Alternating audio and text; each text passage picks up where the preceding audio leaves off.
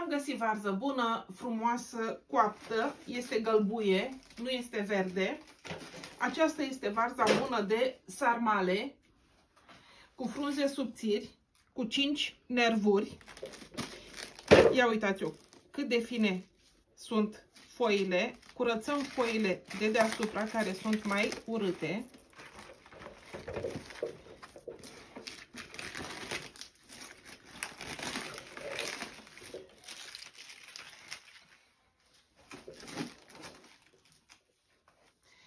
Tăiem de aici cotorul.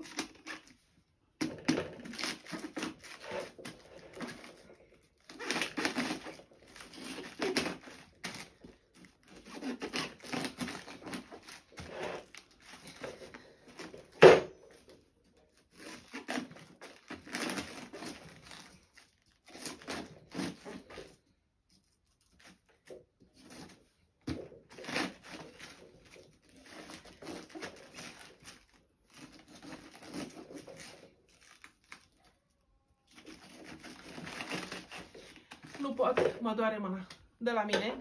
Ai oprit? Nu. O să scoată ursul că eu n-am putere.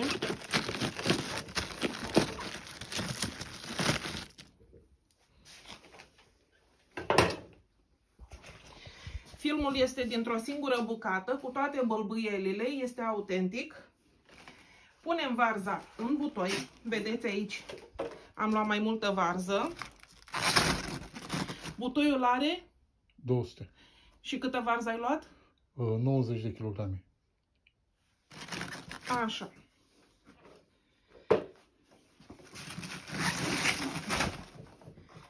Aici, în fiecare scobitură, eu pun câte o linguriță de sare, nu mai mult. Așa. Mai avem sfeclă roșie.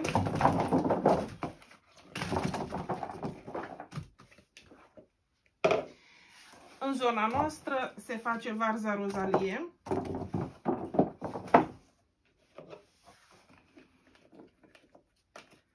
Hrean, două rădăcini de hrean la butoiul acesta, pentru că noi nu punem mult hrean. Hreanul întărește varza, dar noi o vrem în special pentru sarmale.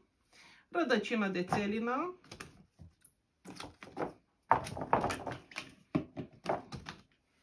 Gutui.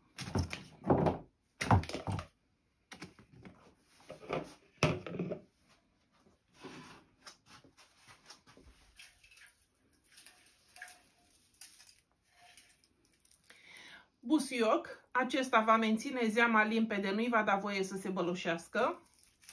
Nu va afecta gustul, nu vă temeți. Cimbru.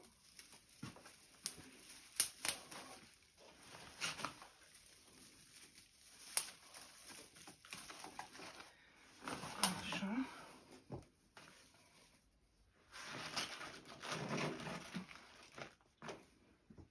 Porumb. Și foarte importantă este sarea pe care o folosim. Eu folosesc această sare, nu este reclamă, vă arăt doar ce folosesc. Este sare pentru murături neodată, o cumpăr din piață. La Tarabe se găsește la noi în Galați sau în Tulcea.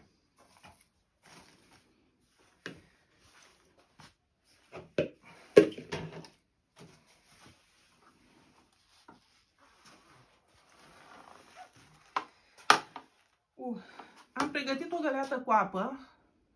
Dacă punem apă rece, se va mura mai greu. Dacă punem apă fierbinte la început, se va mura mult mai repede. Eu prefer să las apă rece la varză, se murează când vrea. La un litru de apă punem o lingură cu vârf de sare. Asta înseamnă undeva la 30-40 de grame de sare maxim. Am 10 litri de apă. 1, 2, 3, 4, 5, 6, 7, 8, 9, 10.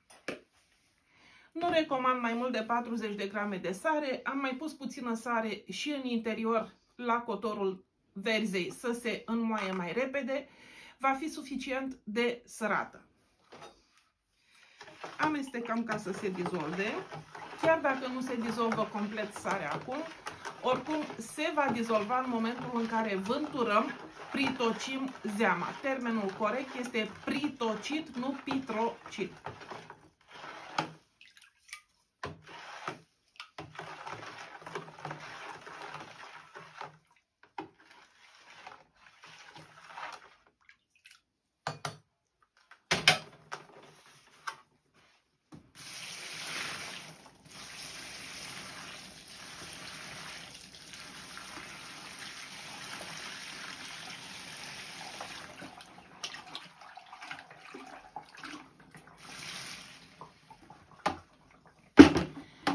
Completăm butoiul cu apă să fie acoperită varza cu saramură.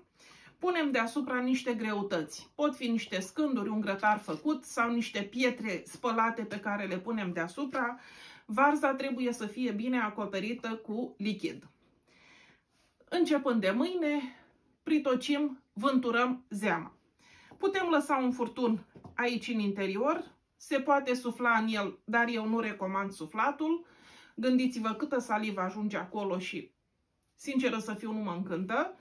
Prefer să scot zeama în găleți și apoi o torn înapoi. Soțul meu scoate câte găleți scoate? Patru. Câte patru găleți zilnic de zeamă le toarnă înapoi și se face vânturarea. Se poate face și cu o pompă din aceea de aer, se poate vântura zeama foarte ușor. Sau cu un tel vânturați zeama foarte bine, uite așa cu un tel. Sau cu un ibric, luați, turnați înapoi, faceți de mai multe ori asta, dar aveți grijă să se ducă și la fund ideal. Vânturatul acesta înseamnă că uh, apa primește oxigen, se îmbogățește cu oxigen, deci se face fermentarea mult mai ușor. nu recomand să folosiți aspirină, conservant, picant fix, salicil. De ce să distrugem bacteriile acestea lactice care sunt extraordinar de gustoase? Aia nu mai este o murătură sănătoasă dacă distrugeți bacteriile. Moarea de varză este foarte sănătoasă, știți foarte bine că tratează multe boli. Murăturile în saramură conțin probiotice naturale. Dacă puneți acest, acești conservanți, distrugeți tot, mai bine nu mai puneți varză, cumpărați din comerț și nu vă mai chinuiți acasă dacă puneți acele prostii. Varză murată, sănătoasă, curată, ca la țară, pentru că părinții noștri nu puneau conservant și alte prostii. Dacă vreți murăturile bunicilor, ale adevărate, nu folosiți acești conservanți. Vă iubesc!